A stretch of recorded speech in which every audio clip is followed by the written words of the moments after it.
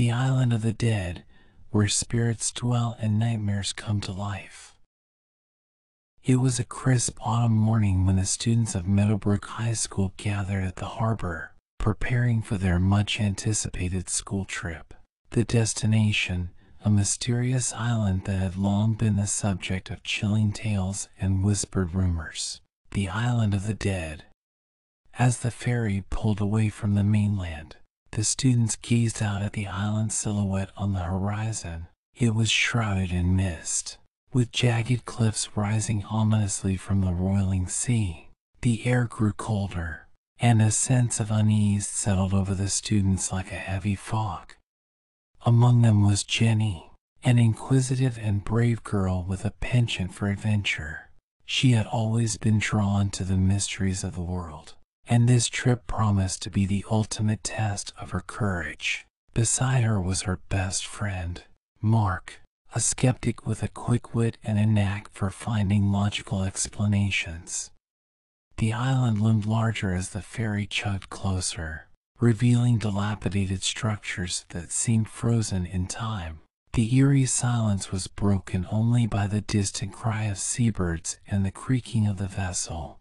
It was as if the island itself held its breath, waiting for the unsuspecting visitors.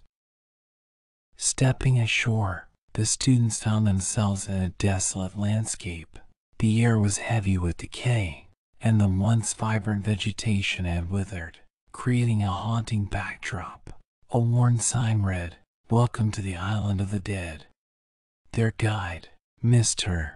Thompson, a weathered man with a solemn expression led the group through the overgrown paths. He recounted tales of the island's tragic past, stories of shipwrecks, mysterious disappearances, and unexplained phenomena. The students listened intently, their imaginations ignited with a mix of excitement and fear. As they explored further, they stumbled upon an abandoned school building its walls were covered in layers of peeling paint, and shattered windows cast eerie shadows on the decaying floorboards. Mr. Thompson cautioned them not to venture inside, but curiosity got the better of the students. Jenny, Mark, and a few of their friends cautiously stepped over the threshold. The air inside the building was heavy with a tangible presence. Their footsteps echoed eerily, and whispers seemed to drift from the dark corners of the empty classrooms. As they wandered deeper into the school, the atmosphere grew more oppressive. The temperature dropped, and their breath hung in the air like ghostly apparitions. Suddenly, a door slammed shut with a resounding thud, trapping them inside. Panic set in, and the students frantically tried to open the door but it remained stubbornly shut. The darkness seemed to close in around them, suffocating their senses. From the corner of their eyes, they caught glimpses of shadowy figures darting through the halls, their laughter echoing hauntingly. Whispers filled the air, growing louder and more menacing with each passing moment. The students clung to one another, their hearts pounding in their chests. But amidst the chaos, Jenny noticed something peculiar, a flickering light at the end of the hallway. Driven by a mix of curiosity and desperation, Jenny led her friends toward the flickering light. It led them to a small room, barely illuminated by a single, feeble candle. The room was adorned with eerie drawings, etched into the walls with a blood-red substance. As the students examined the drawings, a voice resonated through the room, a voice filled with anguish and despair. It told the tale of a curse that had befallen the island centuries ago, when the indigenous people were massacred by colonizers seeking to claim the land. The spirits of the slain had remained trapped on the island, haunting its every corner. The voice warned the students that the island was cursed and that they must leave before it was too late. But before they could react, the room was plunged into darkness. The air grew thick, suffocating, and the students felt a cold hand brush against their skin. They ran out of the room, their hearts pounding in their chests. The whispers grew louder, the shadows more menacing. The students could feel the spirits closing in, their malevolent presence palpable. Just as they reached the exit, the door flung open, and Mr. Thompson appeared, his face pale and drawn. He motioned for them to follow, and they ran as fast as they could through the overgrown paths and abandoned buildings, all the while feeling the spirits hot on their heels. Part 5 The Final Confrontation. They finally reached the shore, where the ferry waited for them. As they climbed aboard, the spirits howled with rage, their voices echoing across the island. The ferry pulled away, and the students looked back, relieved to have escaped the island's grasp. But their relief was short lived. The ferry suddenly lurched, and the students were thrown to the deck. The air grew thick once more, and the students could feel the spirit's presence all around them. As they looked up, they saw a figure emerging from the mist. It was the spirit of a young girl, her eyes glowing with an otherworldly light. She spoke to them, telling them that they could never escape the island's curse. They were marked for life, bound to the spirits forevermore. The students could feel the spirits closing in, their malevolent presence palpable. But then, something strange happened. The spirits suddenly recoiled as if pushed back by an invisible force. And in that moment, the students knew that they were not alone. They had a guardian angel watching over them. The ferry finally pulled away, leaving the island and its spirits behind. But the students knew that they would never forget their harrowing experience.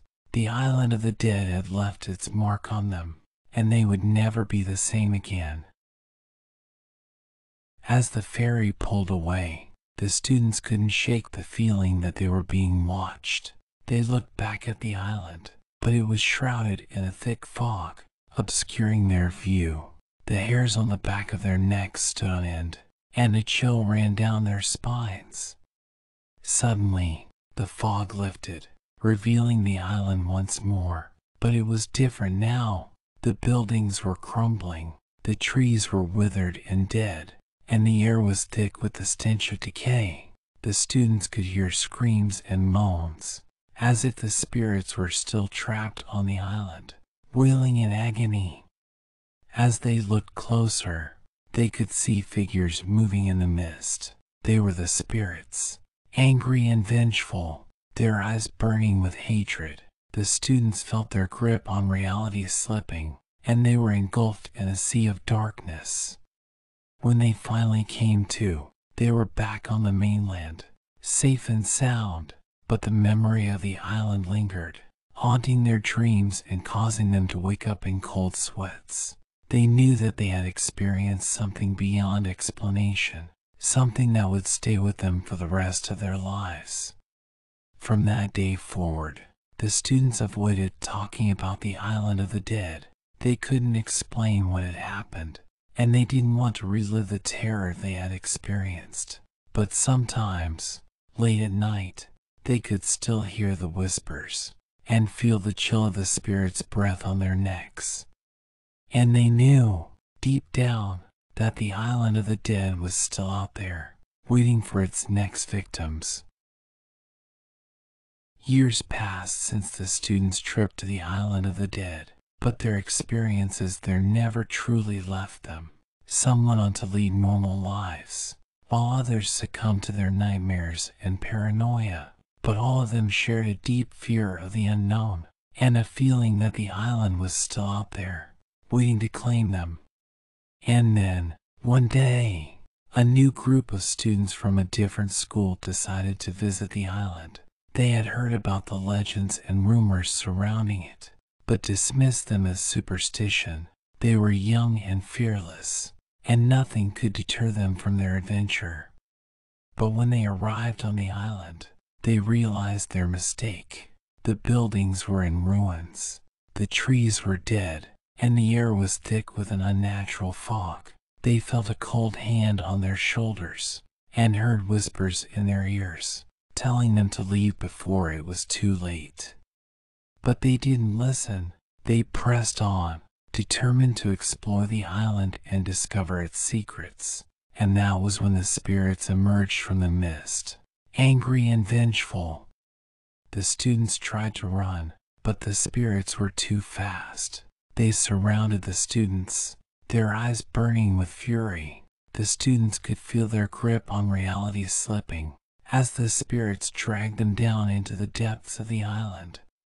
Their screams echoed across the island as the spirits exacted their revenge. The students' bodies were never found, and the island was left untouched once more. But the whispers continued, warning others to stay away from the island of the dead. And so the legend of the island continued, passed down from generation to generation. No one dared to set foot on its shores again, for fear of suffering the same fate as those before them. And the spirits of the island of the dead remained, trapped in their eternal torment, waiting for their next victims to claim